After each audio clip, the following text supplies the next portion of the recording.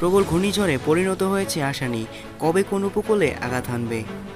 আসানির প্রবল ঘূর্ণিঝড়ে পরিণত হয়েছে। আপাতত সেটি ভারতের উপকূল দিকে এগোলেও গতি বদলে বাংলাদেশের দিকে আসার সম্ভাবনা রয়েছে। ভারতের আবহাওয়া অধিদপ্তর পূর্বাভাস দিচ্ছে, ঘূর্ণিঝড়টি মঙ্গলবার রাত পর্যন্ত প্রবল গতিতে অন্ধ্রপ্রদেশ ও উড়িষ্যা রাজ্যের উপকূল দিকে এগোতে থাকবে। তবে উপকূলে আঘাত হানার সময় এর গতি কমে আসতে পারে। ঘূর্ণিঝড়টি ক্রমেই উত্তর ও পশ্চিমবঙ্গের দিকে এগিয়ে যাচ্ছে। এভাবে সামনে এগিয়ে গেলে ভারতের উড়িষ্যা ও ব্রক্ষ প্রদেশের দিকে এগিয়ে যাবে।